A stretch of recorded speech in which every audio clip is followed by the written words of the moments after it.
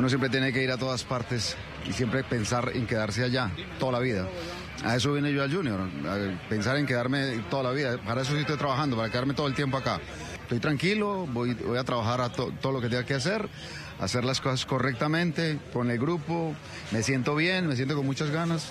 Y esto es de levantar la cabeza, saber que el próximo partido es importantísimo y que si no hacemos seis puntos, eh, en la Copa Libertadores, en este podemos pensar que hay una posibilidad de, de ir a Copa Sudamericana, entonces hay que luchar por todo eso, por todo lo que venga hay que lucharlo, ya no hay que, ya hay que básicamente olvidar lo que pasó